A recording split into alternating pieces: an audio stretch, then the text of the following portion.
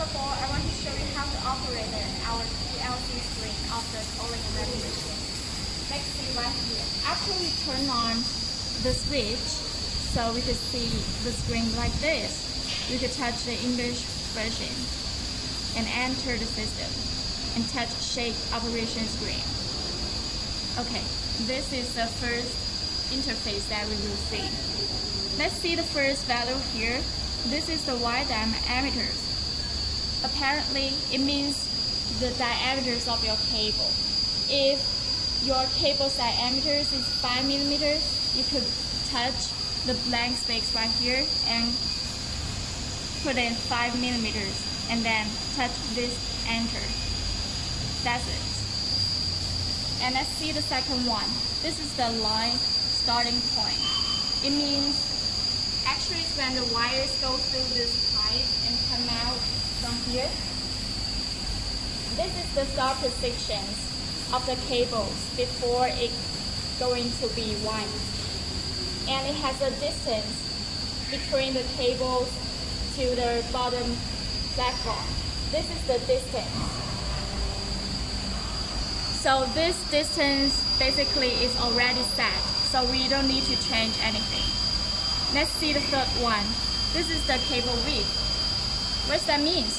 It means the length of the cable cords that you want to run. Okay, we can measure it. Well, it's around 8 centimeters, so it's equal to 80 millimeters.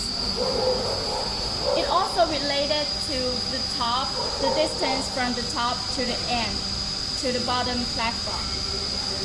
It's the same because we need to make sure um, this length is equal to this length. So we could enter 80 here. That's it. Okay, let's see the delayed start time. So I started millimeters. Actually, it doesn't need to change.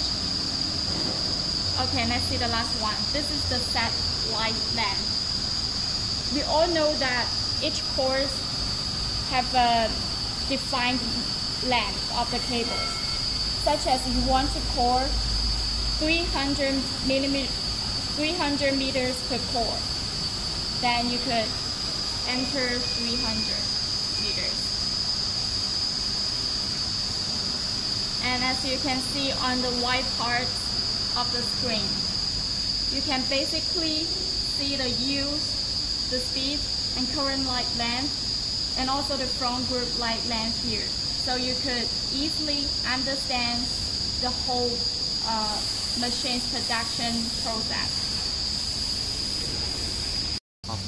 After you finish all these settings you want to save the data. Then you could see the blank space white in the upper left corners here. You can save the data by setting a name here, such as BVV 5 and touch enter.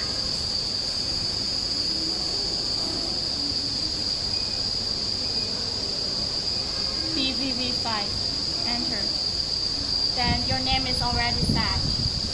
And this is the serial numbers which is related to your name here. And then you could press the save button below. That's it. And if you want to want to select the data that you want to you want to make the cables, then you could touch the plus button and also the minus button to select the group of data that you want to use.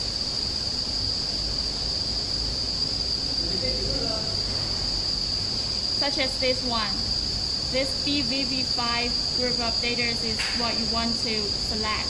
Then you could press the inquire buttons first and then press the download buttons here then this group of data is show up on the screen.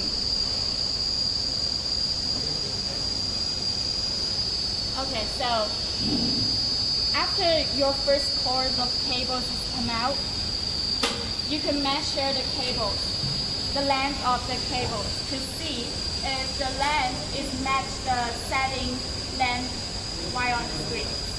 If you measure this, if this cord of cable is measured as 301 meters, which means that it's 1 meters more than 300 meters uh, in the setting. This means here has some error, right? But a little bit error is acceptable. It doesn't need to worry. So let's how to let's show you how to fix it. Actually, we could press the triangle symbols right down here, right down below. This one, the green one. Touch it, and then here has a blank space saying the actual length. Well, if your actual length is 301, you could input 301. Last step is to touch this correction button. And we are done right here. And then the system will automatically fix by itself. So we doesn't need to worry about that, the error. The machines will automatically produce the wide diameter as what you set at the first time. Let's see the values in the middle of the screen. We can see first two values, it means the arm A and arm B position. This is the arm A and this is the arm B. Actually, if you got a smaller course like this, actually the distance between these two legs would be closer. And this means the value should be larger, like 160. But when it comes to the larger course like that, which is larger than this one, then the distance between these two legs needs to be larger. So the value should be smaller. I will show you how it works.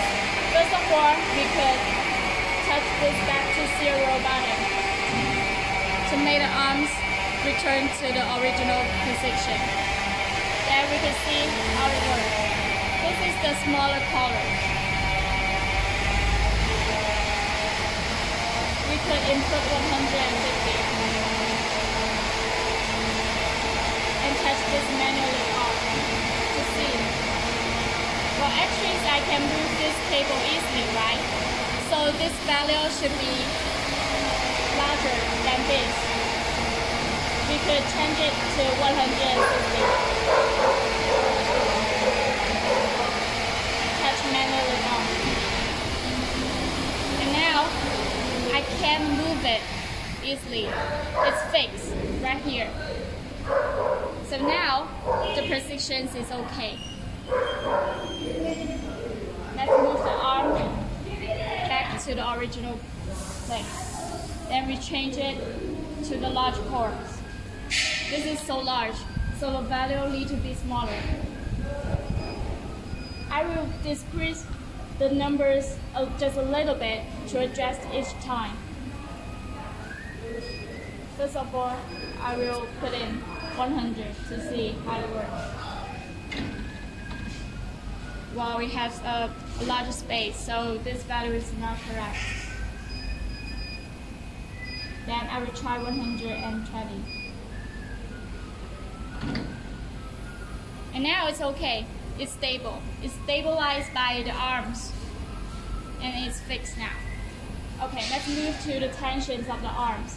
Basically, the tensions means that the tightness of your legs when they hold the cables.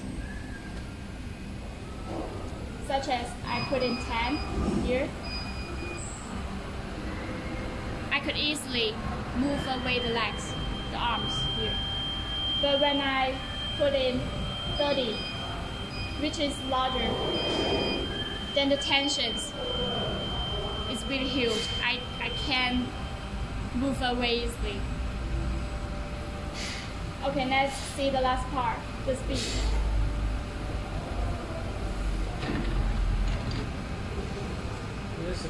Uh, now the arms is back to the original positions and we can see Okay, I will uh, I will put in 10 first, and to see the speed speed of the arms. And you can see right here, it's so slow, right? But when I change it to 30, and it's different.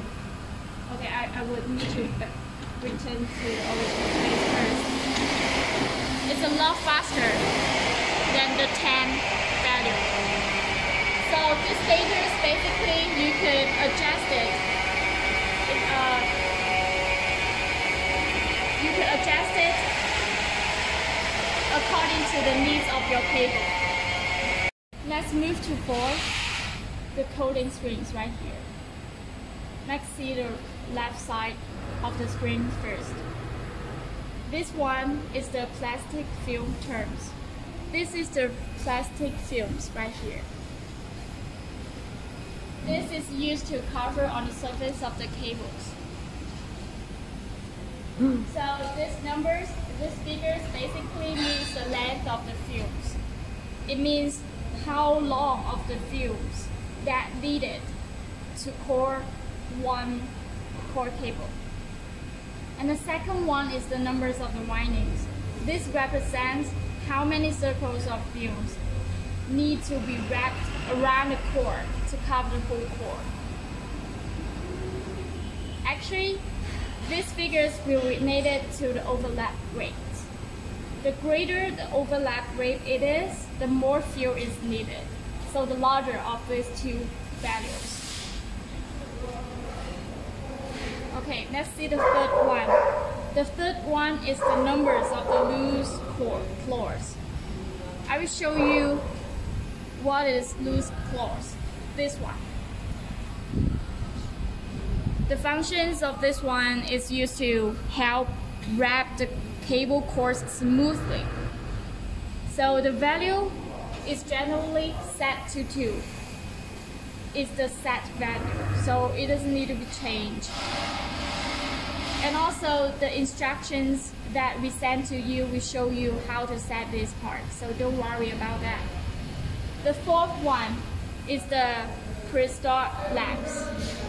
Actually, due to the technical requirements, generally when the course is about to finish wrapped, the machines need to slow down. So generally, when the wrap reaches the last two laps, this is the circle. When this circle reaches the last two laps, pre-stop is required. So enter 2 in this blank space. Actually, when the, no the normal speed of the C cycle is set right here. C rings high speed. While when the speed is uh, turns to slow down, actually the speed will a little bit low, like 8. We could put it right here. Let's see the last one. This is the film brake. Similarly, due to the because of the technical requirements, if we if we use the small size film like this, we would enter 0.1 or 0.2 here. But if we use the bigger size film like this, actually we could input zero. It's the technical requirement to make sure everything runs smoothly. Okay, let's see the right part. This, this one we already talked just now. So let's see the last two one. Last two. This one is the loose standard time and return time. Actually, all these two values is related to the label. This is the label. This label needs to be stick onto the cables like this. So how it works? Here we have the devices. It's used to it's used to stick the labels like that and then move these labels right here. And then these labels will stick on the surface of the cable. And these two values actually is set according to the technical requirements. Basically, we will enter 1.5 on the loose standard time here. And the return time, we will set 3.